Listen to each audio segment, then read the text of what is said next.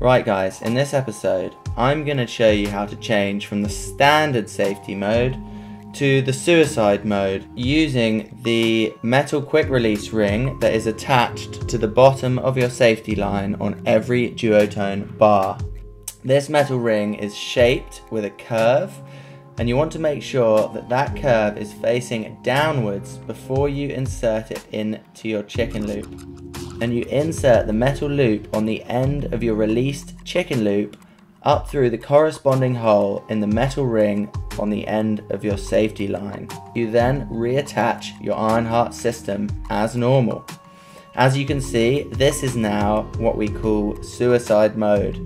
It's simply a time-saving method of attaching your leash so that you don't have to relaunch and reassemble your safety every time you let go of the bar.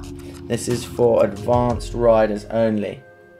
Once you set it to your preference, you're ready to hit the water regardless of what duotone bar you're riding.